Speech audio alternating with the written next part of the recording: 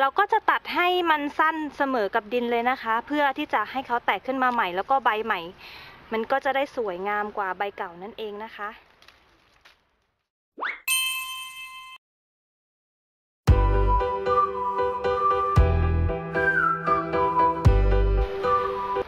สวัสดีค่ะ ยินดีต้อนรับเข้าสู่ก้อยการ์เด้นค่ะ สำหรับคลิปนี้นะคะ ก้อยก็จะพาเพื่อนๆมาดูแลกุยช่ายในกระถางค่ะทำยังไงให้กุยช่ายแตกกอเป็นพุ่มสวยนะคะ แล้วก็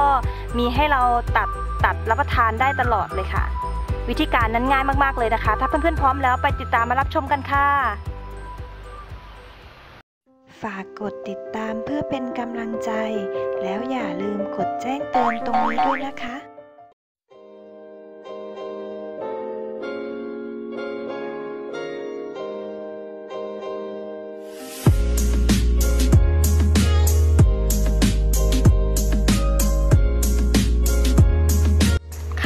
พื่อนๆเห็นนี้ก็คือต้นกุยช่ายที่ก้อยปลูกในกระถางนะคะ เป็นกระถางแถวหนึ่งนะคะ แบบนี้กระถางนี้ก็จะมีความยาวประมาณน่าจะ1เมตรครึ่งค่ะก้อยก็ปลูกด้วยกันประมาณ 5 ต้นนะคะ 5 กอด้วยกัน ทีนี้เทคนิคของการปลูกกุยช่ายให้กุยช่ายมีต้นที่เป็นกอเป็นพุ่มสวยนะคะ แต่กอดีมากก็คือเราต้องทำการตัดตกแต่งบ่อย ๆ ค่ะ วันนี้ก้อยก็จะชวนเพื่อนๆมาทำการดูแลต้นกุยช่าย โดยการที่จะถอนหญ้านะคะ แล้วก็ใช้เนี่ยค่ะ ใช้พลั่วหรือว่าช้อนหรือว่าตะเกียบก็ได้นะคะพรวนดินให้กับต้นไม้ เพื่อให้ดินมันมีอากาศมากขึ้นค่ะ จากนั้นเดี๋ยวเราจะรดน้ำด้วยจุลินทรีย์สังเคราะห์แสงกันค่ะวันนี้เรามาทำกันเลยค่ะค่ะเดี๋ยวเราจะเอาใบไม้แล้วก็หญ้าออกก่อนนะคะ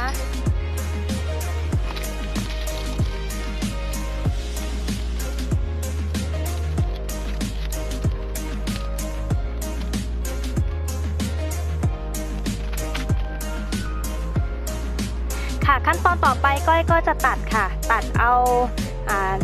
ตัดเอาต้นนะคะกุยช่ายออกไปเพื่อที่จะกระตุ้นให้เขางอกขึ้นมาใหม่เยอะๆนั่นเองค่ะ ถ้าเรายิ่งตัดเขาก็ยิ่งงอกออกมาหลายต้นนะคะ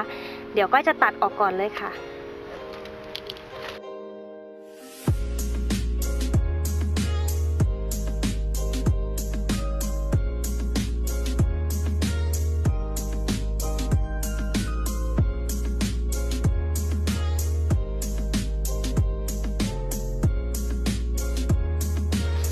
ค่ะ และนี่ก็คือกุยช่ายทั้งหมดในกระถางนี้ค่ะ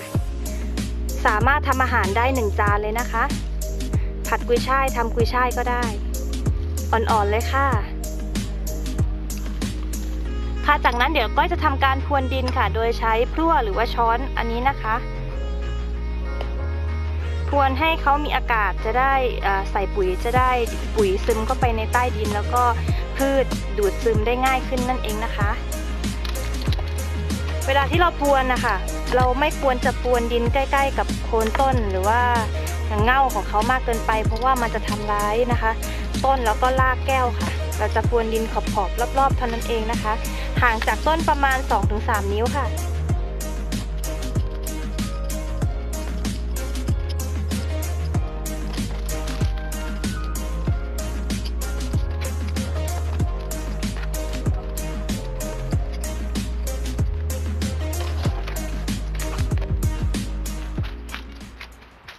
เดี๋ยวก็จะลดน้ำด้วยจุลินทรีย์สังเคราะห์แสง เดี๋ยวเราไปผสม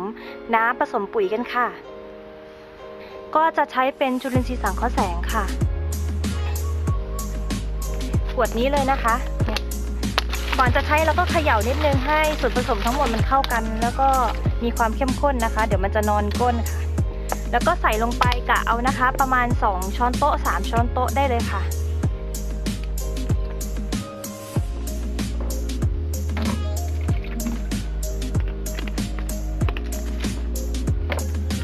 จากนั้นเดี๋ยวเราจะใส่เป็นน้ำเปล่านะคะ ลงไปประมาณ 1 บัวรดค่ะ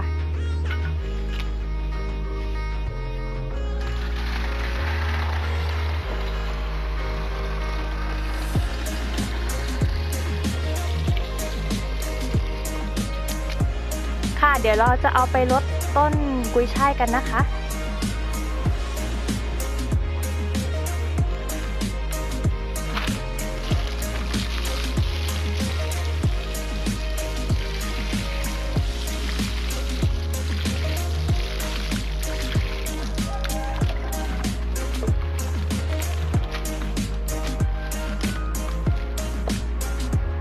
จะมีความยาวนะคะ 2 วันก็จะมีความยาวประมาณนี้แล้วค่ะ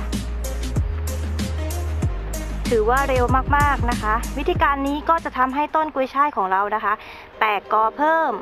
จาก 1 ต้นเป็น 2 ต้น 3 ต้น 4 ต้นนะคะ มันก็จะเพิ่มทวีไปเรื่อยๆเลยค่ะ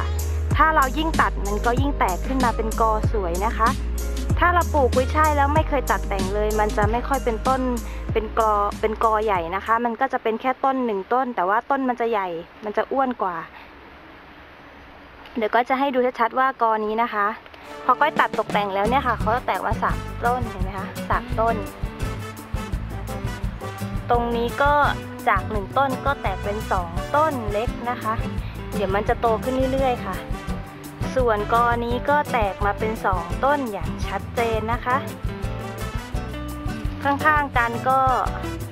หนึ่งต้นนะคะ ต้นนี้ยังไม่สมบูรณ์เท่าไหร่ค่ะ ข้างๆกันอันนี้ค่ะ มีสามต้นเลยนะคะ ค่ะแล้วนี่คือกุยช่ายที่ก้อยตัดตกแต่งไปแล้วนะคะ ประมาณ 1 อาทิตย์กว่าค่ะแล้วก็ให้ปุ๋ยแล้วนะคะ ปรากฏว่าเขาก็จะมีใบงามนะคะ ใบอ่อนใบเขียวขึ้นมาใหม่ ดีกว่าเก่ามากๆเลยค่ะเนี่ยนะคะ ก้อยก็จะพามาอัปเดตให้เพื่อนๆดูค่ะว่า ถ้าเราตัดตกแต่งไปเรื่อยๆนะคะ ต้นเขาก็จะงามก็จะสวยแบบนี้นะคะ เดี๋ยวก้อยจะให้ดูใกล้ ๆ ค่ะ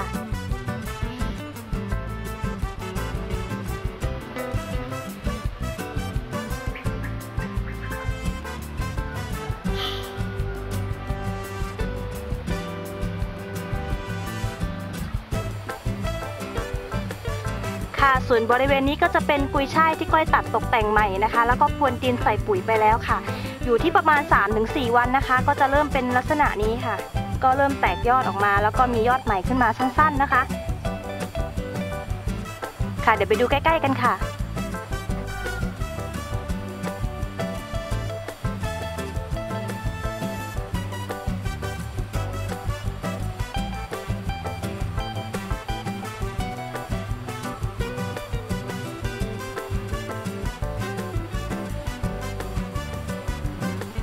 วันนี้จะเก็บต้นหอมที่ปลูกจากน้ำค่ะ ที่ก้อยเคยทำคลิปการปลูกต้นหอมจากแก้วนะคะ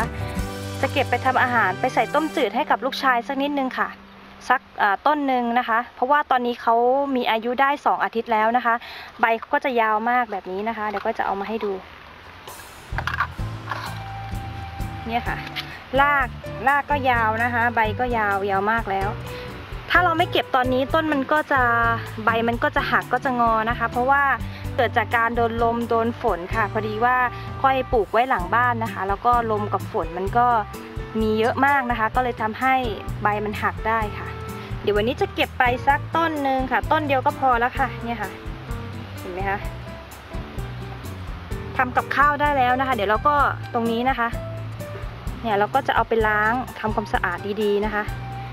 ก็ไม่มีปัญหาแล้วค่ะ ต้นหอมปลอดสารปลูกเองนะคะ เนี่ยค่ะ ก็แกะออกลอกออกแล้วก็ล้างออกดีๆ ก็ไม่มีปัญหาแล้ว วิธีการนี้ปลูกต้นหอมได้กินนะคะ ดีมากๆเลยค่ะก็จะเนี่ย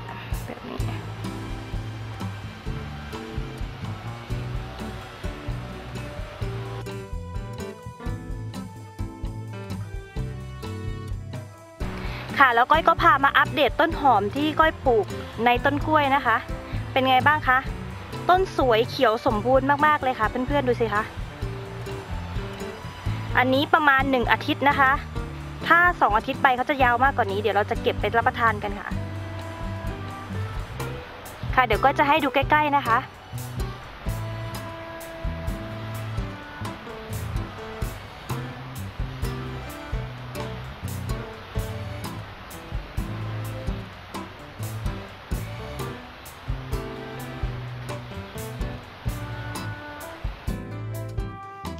สำหรับคลิปนี้นะคะ ก้อยก็ฝากไว้แต่เพียงเท่านี้ค่ะ ก้อยจะแปะรายละเอียดการปลูกผักชนิดต่างๆ ที่ก้อยได้ปลูกมานะคะ กว่า 100 ชนิดค่ะ ไว้ในกล่องรายละเอียดด้านล่าง ถ้าเพื่อนๆคนไหนที่สนใจก็สามารถกดเข้าไปดูเข้าไปชมกันได้นะคะ กดไลค์กดแชร์กันได้เลยค่ะ ค่ะ ถ้าชอบหรือถูกใจอย่าลืมกดไลค์กดแชร์ แล้วกดติดตามเพื่อเป็นกำลังใจให้ก้อยด้วยนะคะ เจอกันใหม่คลิปหน้าค่ะ สวัสดีค่ะ